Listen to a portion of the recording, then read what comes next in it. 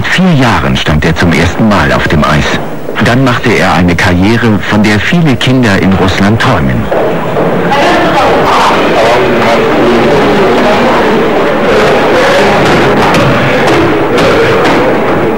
Es ist schon ein Privileg, sich zusammen mit dem Weltmeister aufzuwärmen.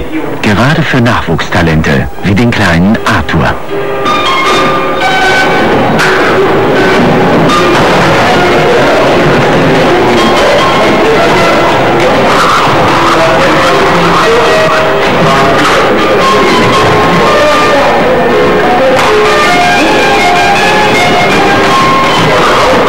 Arthur und Genia, als der Elfjährige damals zum Probetraining kam, erkannte Mischin sein Talent sofort.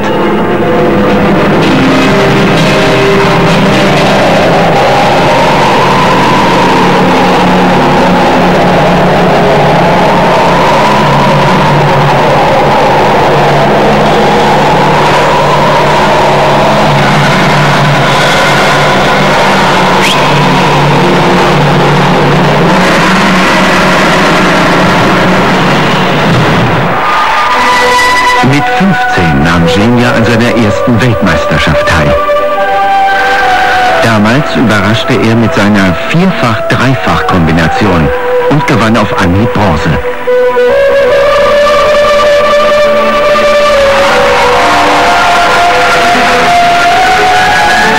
Sein größter Konkurrent kam damals aus derselben Schule, Alexei Jagudin, ebenfalls ein Schüler bei Trainer Mischin und immer eine Nasenlänge voraus.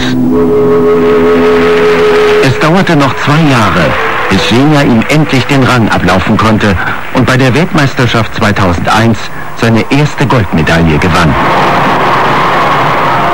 Schon mit 20 Jahren ist er zweifacher Weltmeister und dreifacher Europameister. Doch er weiß, es ist die erste Trainingswoche nach der Sommerpause. Genias neue Schlittschuhe sind noch nicht optimal geschliffen. Ist es jetzt besser? Gib mal den zweiten.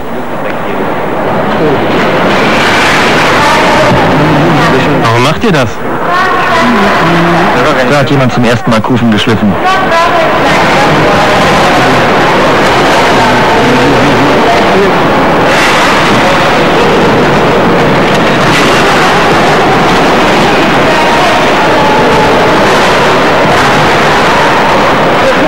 Jetzt habe ich schon nachgeschliffen und er macht immer noch Kleben ins Eis. Also nochmal. Bleib so stehen. Das ist das erste Mal, dass sie zu scharf geschliffen sind. Das stört bei den Bögen. Michin hat den jungen Choreografen Juri engagiert, der moderne Elemente in Kür bringen soll.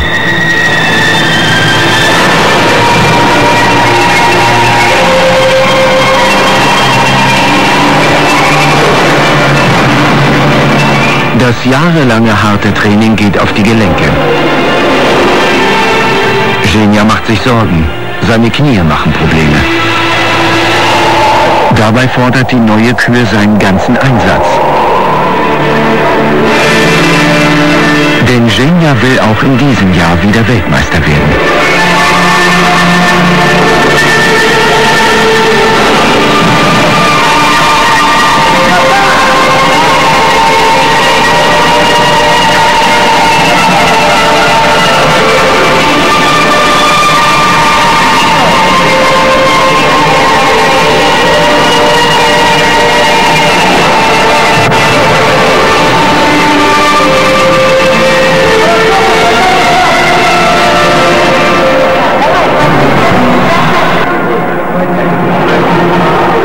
Mittagspause spricht Genia mit seinem Choreografen die neuen Elemente seiner Kür durch. Im Flur treffen sie Andrei. Die beiden haben schon mehrere Wettbewerbe zusammen durchgestanden. Ohne Schlittschuhe würde ich ihm bis hier reichen.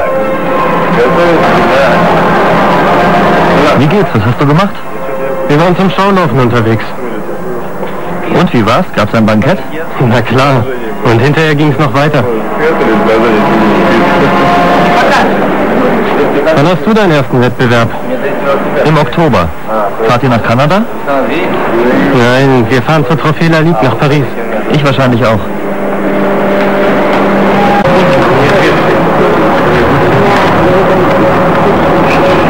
Idee. Die Idee für die neue Kür geht auf den legendären Tänzer Nijinsky zurück. Er gilt als ein Gott des Tanzes und wir wollten ihm die Kür widmen. Bei diesen Bewegungen hat Nijinsky versucht, einen Menschen zweidimensional darzustellen, ähnlich wie bei griechischen Fresken.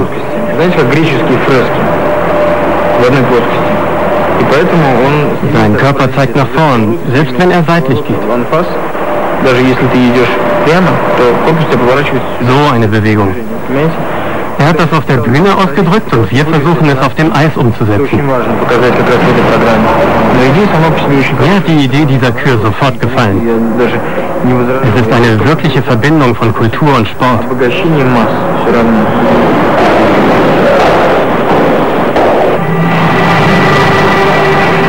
Zurück in der Eishalle.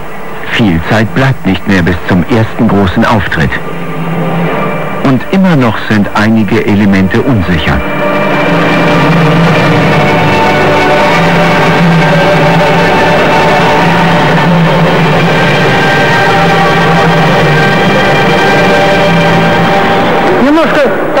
Da fehlen die Umsprünge. Und achte auf deine Beinstellung. Also nochmal und saubere, kräftige Wechsel. Einmal nur und dann kräftige Umsprünge. Jetzt zum Finale.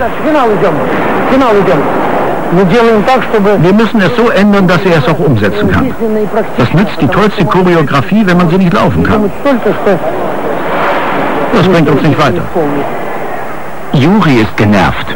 Immer wieder wird seine Choreografie in Frage gestellt.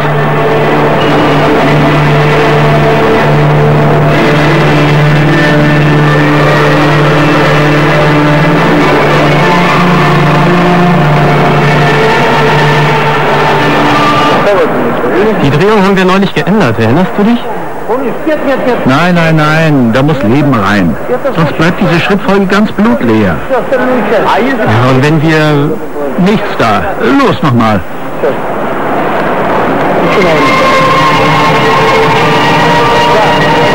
Weglassen ist die Kunst.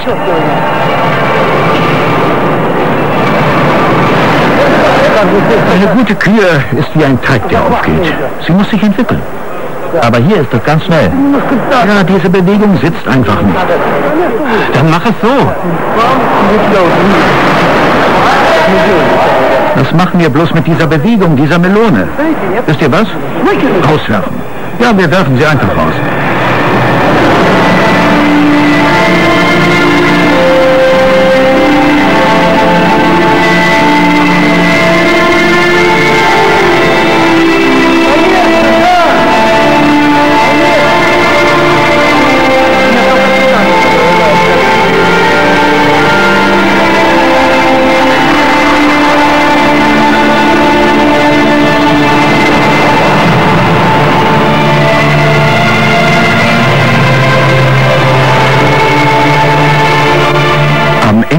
Tages sind Jinja und Machine ganz optimistisch. Die Wettbewerbssaison kann langsam beginnen.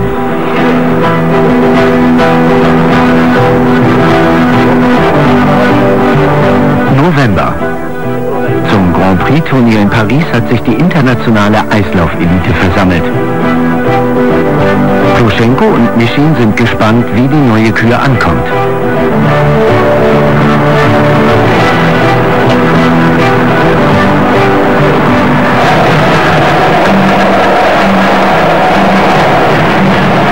Erste Training. Willkommene Gelegenheit für einen Blick auf die Konkurrenz, etwa den Franzosen Brian Joubert. Seine Schrittfolgen erinnern sehr an Genias früheren Gegner Alexei Jagudin.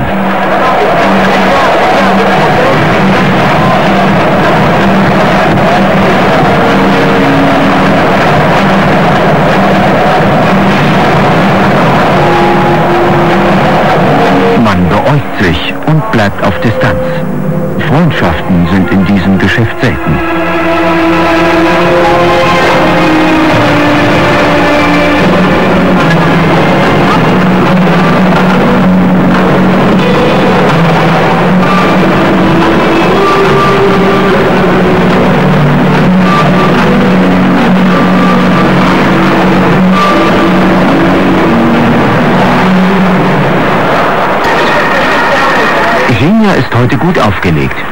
Normalerweise ist er vor einem Wettbewerb für niemanden zu sprechen.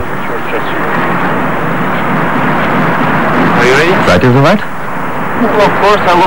Klar freue ich mich auf die Saison. Ich möchte meine dritte Weltmeisterschaft gewinnen und davor natürlich meinen vierten Europameistertitel holen. Aber mein größter Traum sind die Olympischen Spiele. Ich will die Goldmedaille tragen. Und zwar genau hier, diese große Medaille. Bisher habe ich ja nur Silber geholt. Also, ich brauche die Goldmedaille. Das ist mein Traum. Das ist alles, was ich will. Am Abend ist die Halle sehr gut besucht. Zum ersten Mal in dieser Saison treffen die hochkarätigen Läufer aufeinander.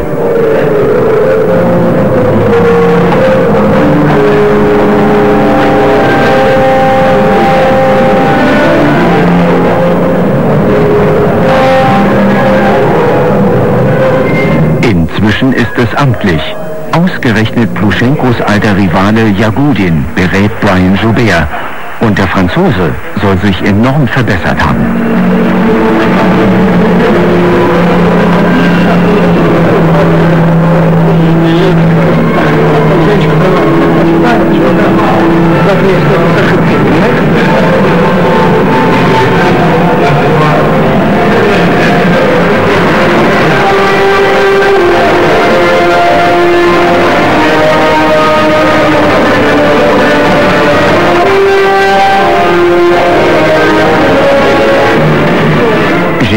Startet wie immer am Ende, in der Gruppe der besten Läufer. Nun muss sich zeigen, ob die Sprünge sitzen und vor allem, ob die neue Kühe einschlägt.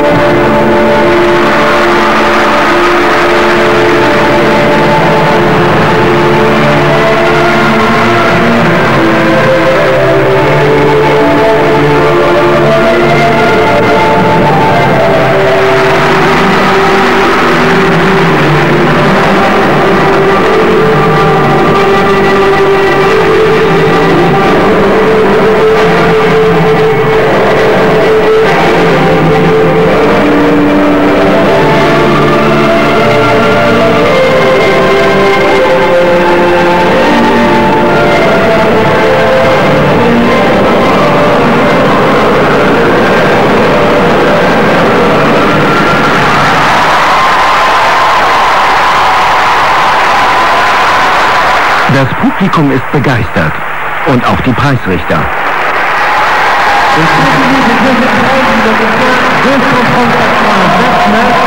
Jewgeni führt.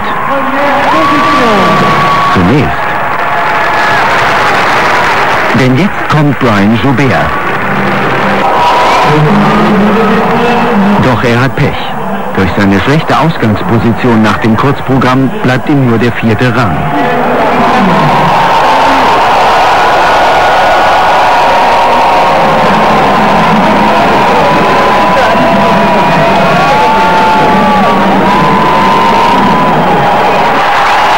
Der Gewinner des Abends heißt Jewgeni Ploschenko.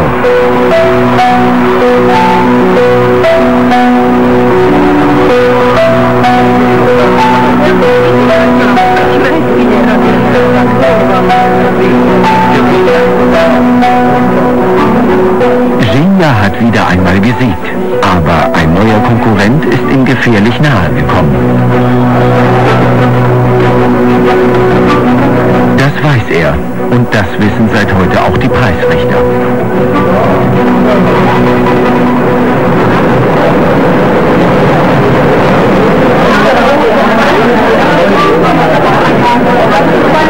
Im Hotel warten die Fans. Klar, dass Genia Zeit für sie hat.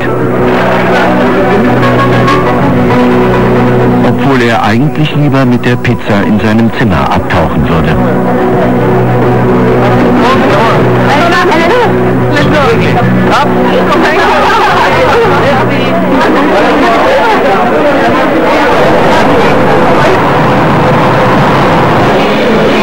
Später im Hotel treffen sich die St. Petersburger.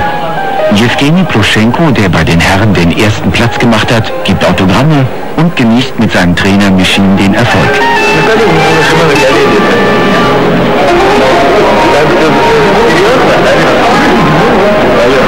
Vika kann ihre Enttäuschung über den verpatzten Auftritt kaum verbergen. Von ihrem Partner Andrei ist nichts zu sehen. Trainer Michin versucht sie aufzuheitern. Wenn du gehst, nimm Vika mit. Ja klar, gern. Lass uns gehen. Andrei kommt sowieso nicht mehr. Wir gehen zusammen in eine Show. Ah, das wird bestimmt interessant. Lange bleibt er denn? Lange, bis morgen früh natürlich. Muss ich mich umziehen? Nimm einfach noch eine Jacke mit und beeil dich.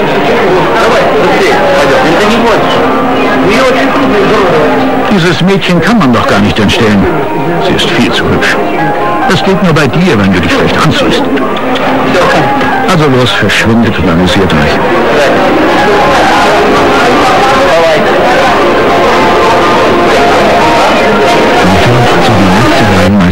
Im Eiskunstlauf. Kaum eine Sportart ist hier populärer.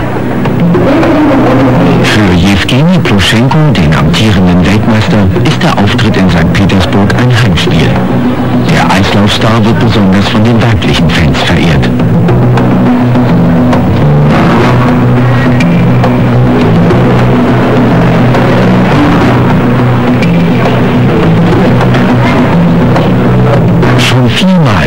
Jewgeni die russischen Meisterschaften gewonnen.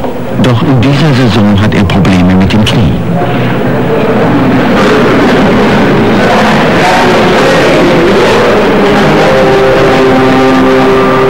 Trainer Alexei Mischin rät Jewgeni nicht alles zu riskieren. Aber kann man das von dem Lokalmatador erwarten? Vor heimischem Publikum?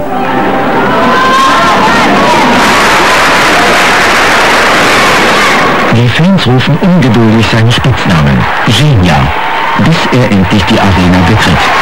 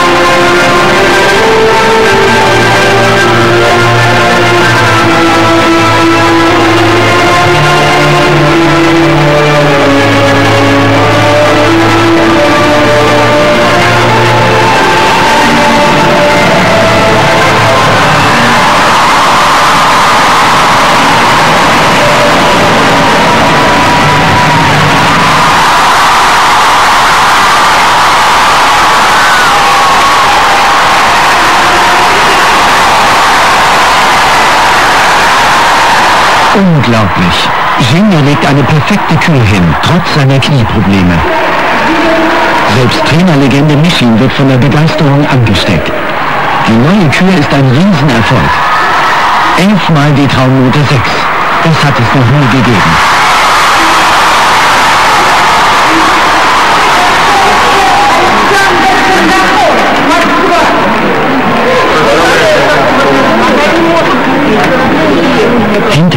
Eisbahn spürt man Genias Erschöpfung. Aber für seine Fans hat er immer noch Zeit. Seine Ärztin ist erleichtert. Das Knie hat mitgespielt. Nur Juri, der Choreograf, ist nicht ganz zufrieden. Ich finde, er hätte die Kür interessanter machen können. Technisch ist er absolut spitze, aber künstlerisch hätte man das Thema noch besser ausarbeiten können. Sonst war es super.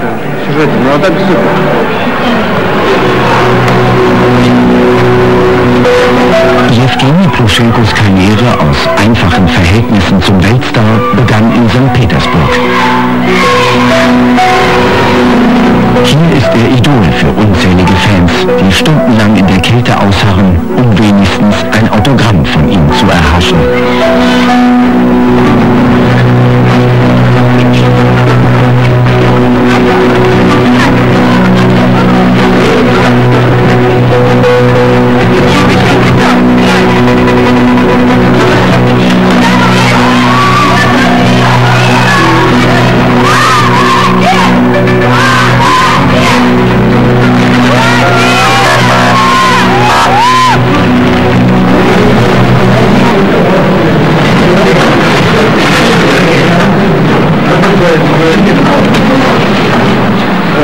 Jewgeni ist heute spät dran und muss sich sputen. Trainer Mischin, der Eisprofessor, wartet nicht gerne. Das muss alles in eine Schachtel. Leg das hier hin, sonst finden wir am Ende nicht wieder. Spielen Sie jetzt ruhig Ihre Musik, verehrte Kollegen.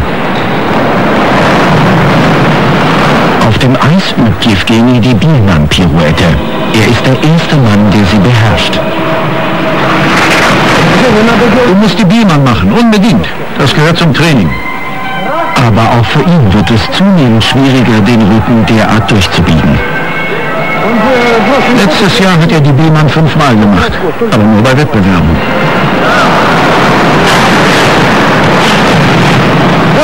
Gib das Bein nach hinten, damit du dich schneller drehst. Nein, nicht so.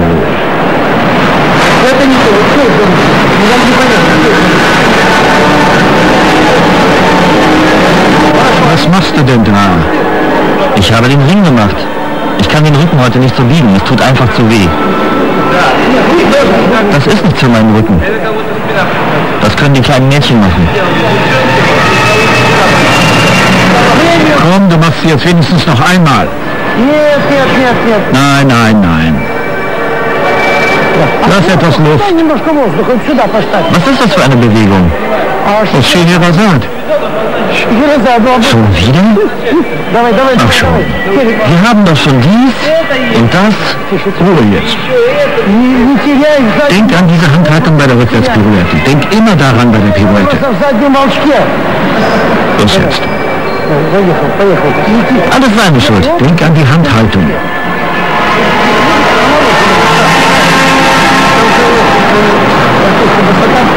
Also gut, das war's für heute.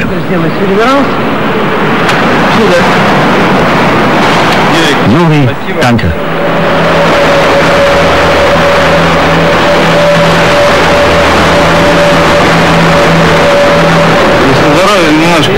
Im Moment macht mir meine Gesundheit zu schaffen. Ich habe Schmerzen im Knie und muss mich operieren lassen. Nach dem Grand Prix-Finale war ich beim Arzt. Er meint, die Operation muss sein. Außerdem habe ich Rückenprobleme, besonders mit dem Ischiasnerv. Das ist wirklich eine ernste Sache. Ich muss versuchen, mit diesen Problemen klarzukommen.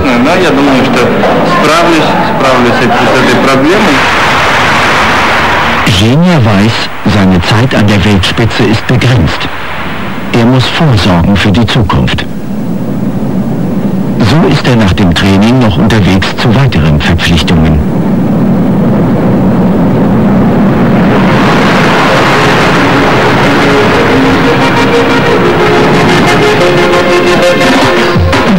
Eine St. Petersburger Zeitung hat ein Preisausschreiben veranstaltet. Ja, ich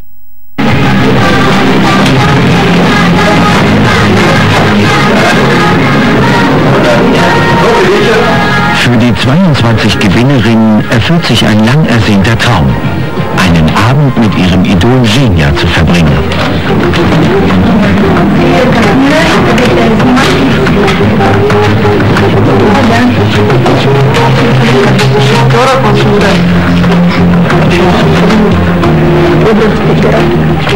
Ich setze mich neben die Kleinen.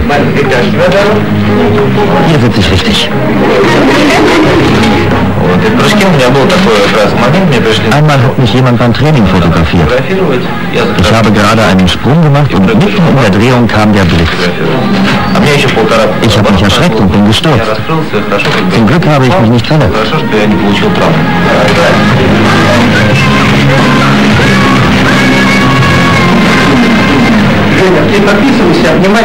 Während sich Genia für die Fotoalben ablichten lässt, macht sich Trainer Michin schon Gedanken, wie es weitergehen soll. Nun erwarten sie die Konkurrenz der Herren.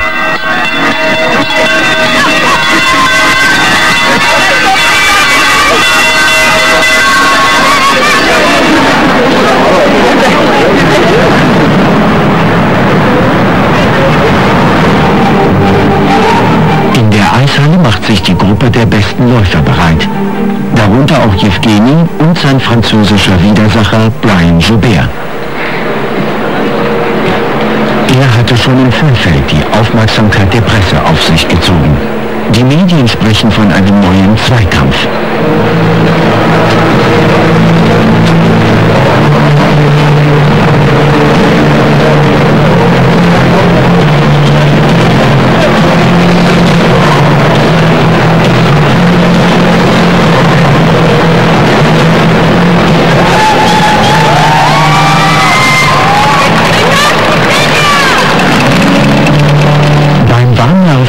архив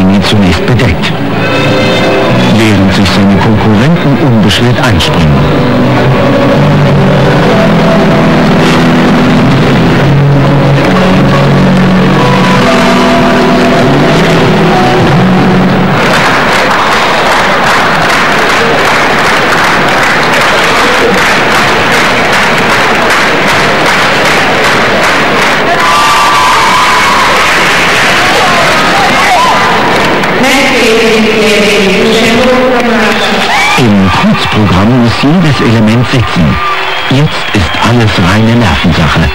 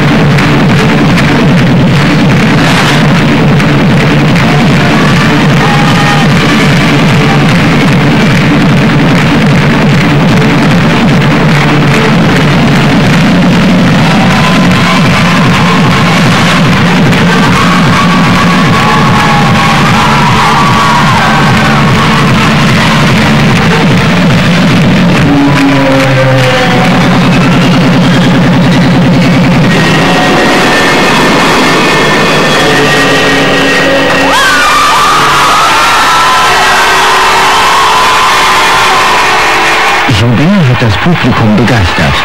Doch wie bewerten die Preisrichter sein originelles Kurzprogramm?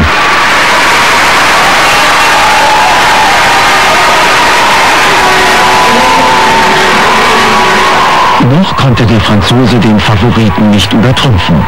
Doch Jewgenis Vorsprung ist nur hauchdünn. Jetzt wird die Kür entscheiden.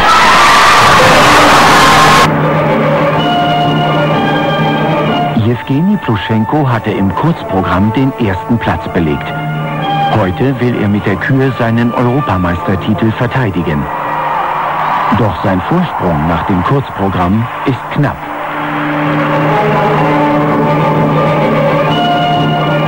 Sein größter Konkurrent ist Brian Joubert, der französische Shootingstar. Er wirkt erstaunlich selbstsicher.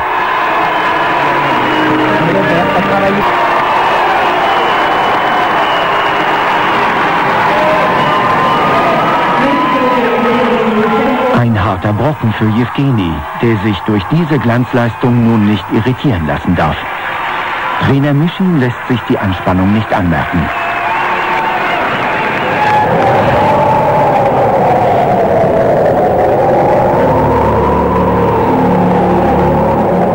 Brian Joubert verfolgt von der Pressetribüne aus die Entscheidung.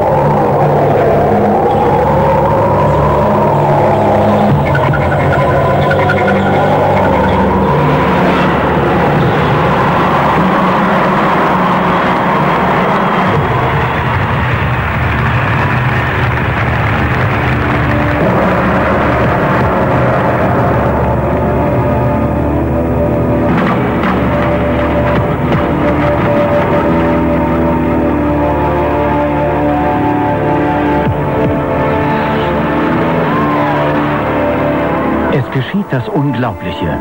Jewgeni Pluschenko stürzt beim Achsel. Jetzt muss er alles riskieren.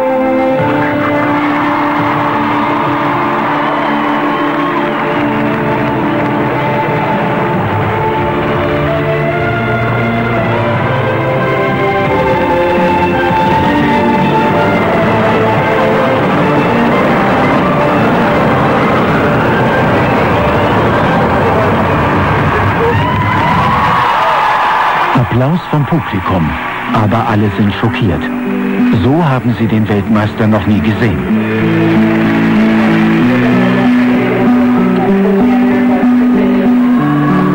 Trainer Mischin und Genia wissen, dass sie den Titel verloren haben. Anmerken lassen wollen sie sich ihre Enttäuschung aber nicht.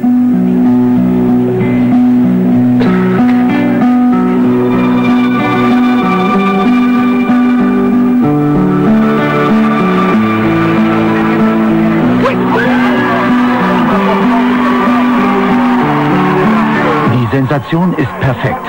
Brian Joubert als neuer Europameister.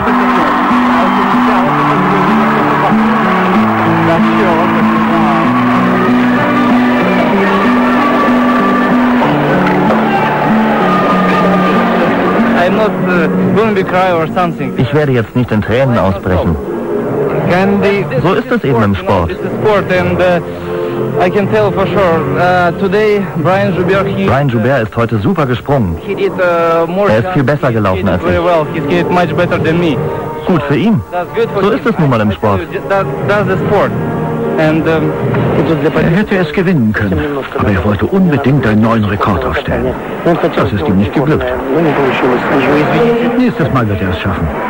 Jewgeni Bruschenko hat nach der Europameisterschaft einige Tage pausiert.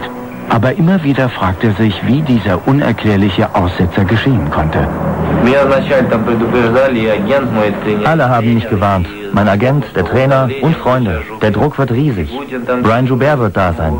Er wird von Jagudin beraten. Aber ich war überhaupt nicht nervös. Im Gegenteil. Ich war entspannt. Und die Verletzung war es auch nicht. Ich glaube, ich habe es einfach zu lässig gesehen. Es war ein Problem im Kopf.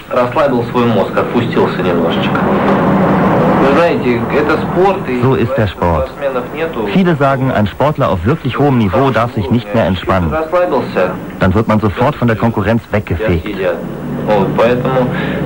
Deswegen darf man sich im Leistungssport nie entspannen.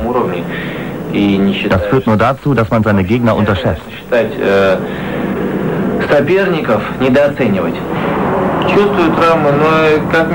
Natürlich spüre ich die Verletzungen an den Knien und an meinem Rücken. Alle guten Sportler sind dauernd verletzt. Beim Training passiert oft etwas. Ich habe gelernt, damit zu leben. Früher dachte ich bei jeder Kleinigkeit, jetzt musst du aufhören. Aber ich habe mich an die Schmerzen gewöhnt. Ich habe die ganze Saison über durchgehalten. Jetzt kommt nur noch ein Wettbewerb. Alles wird gut. Das hofft auch sein Trainer Mischin. Auch Arthurs großes Vorbild, der Eislaufstar Evgeny Proschenko, versäumt keine Trainingsstunde. Er bereitet sich zusammen mit seinem Trainer Alexei Mischin auf den Höhepunkt der Saison vor. Die Weltmeisterschaften stehen unmittelbar vor der Tür.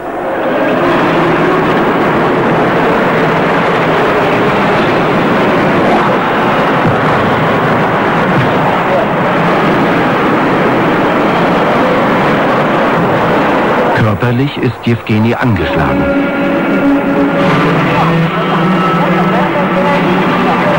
Aber nach der verpatzten Europameisterschaft will er mit aller Kraft auf die Revanche hinarbeiten.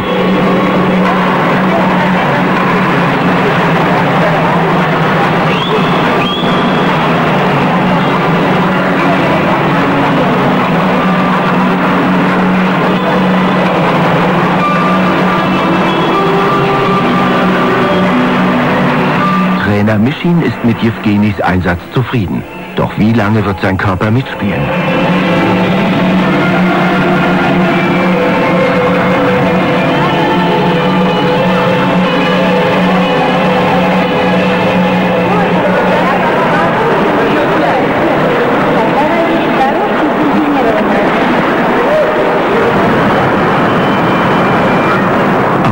Deutschland scheint der Frühling noch das Finale der Eislaufsaison abzuwarten. Bei frostigen Temperaturen werden in Dortmund die Weltmeisterschaften eröffnet. Eisläufer und Fans aus der ganzen Welt versammeln sich in der Westfalenhalle.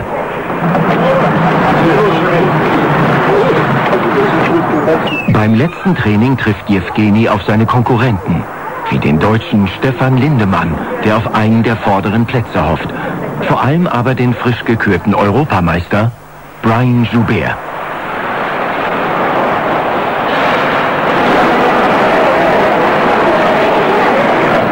Während sich Jewgeni aufwärmt, nutzt Charmeur Mischin die Gunst der Stunde, um seine internationalen Kontakte zu pflegen.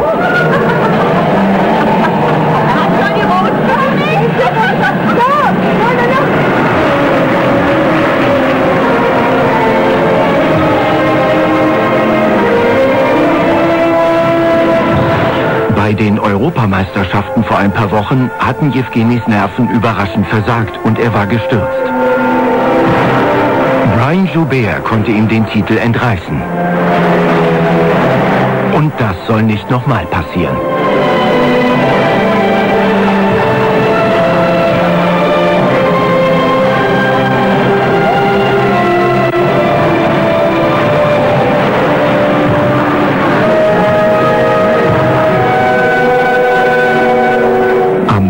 Vorabend der Entscheidung zeigt der junge Franzose demonstrativ Gelassenheit.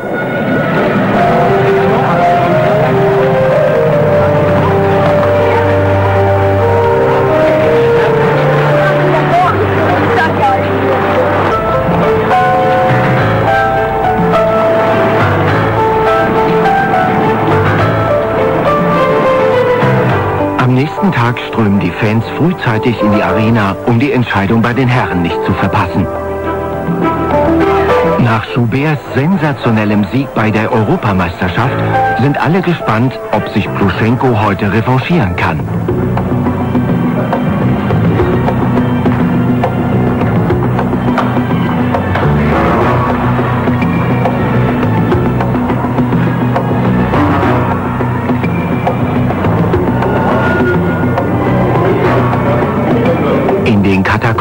Steigt die Anspannung der Kontrahenten.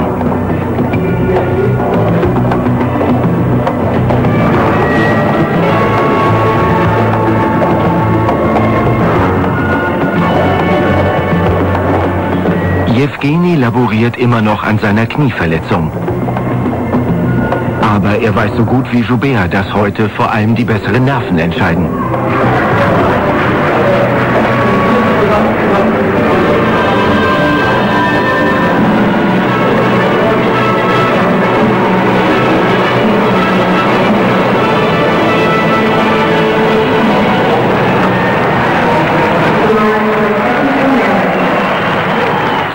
Muss Stefan Lindemann aufs Eis. Er hatte auf Platz 10 gehofft. Und er erreicht einen unglaublichen dritten Platz. Doch in die Entscheidung um den Titel vermag er nicht einzugreifen.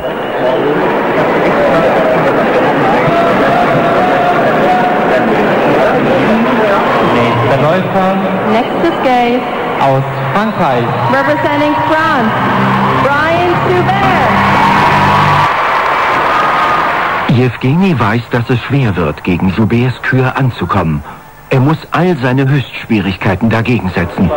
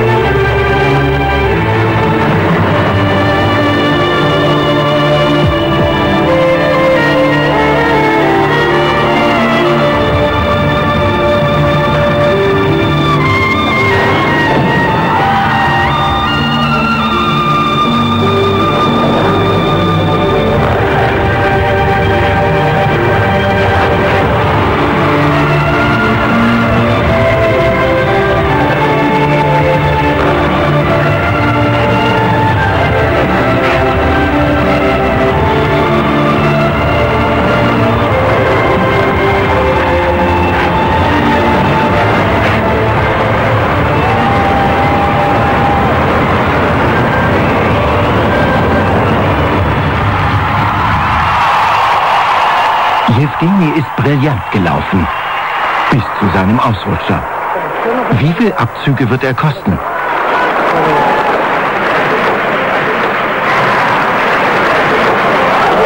Knapp, aber insgesamt verdient, wird Jewgeni zum dritten Mal Weltmeister.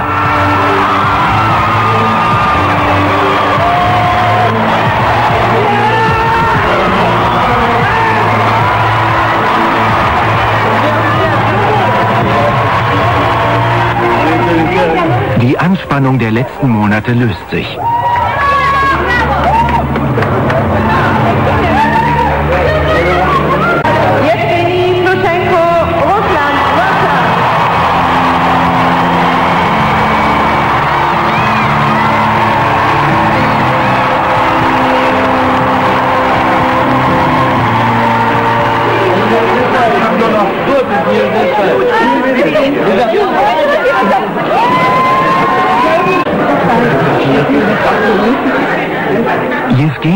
Erleichtert und froh, sich endlich ausruhen zu können.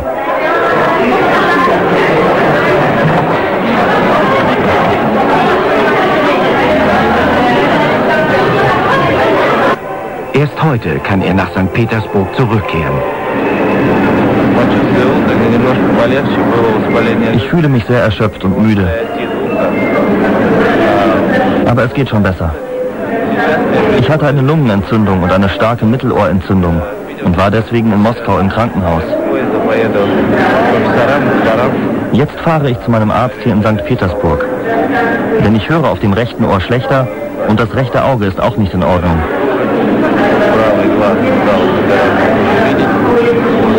Das ist eine ziemlich unangenehme Sache. Deshalb ist an Eislaufen im Moment nicht zu denken. Ich muss mich erholen.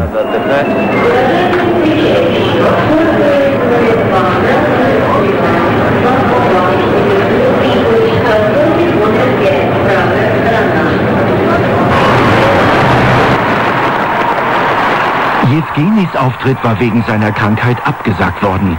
Als er dennoch auftaucht, ist die Begeisterung groß.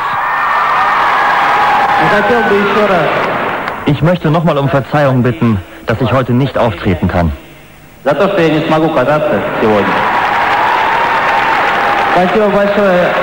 Vielen Dank an alle, die zu mir gehalten haben, die mich medizinisch betreut und die ganze Zeit unterstützt haben. Danke. Ich liebe euch.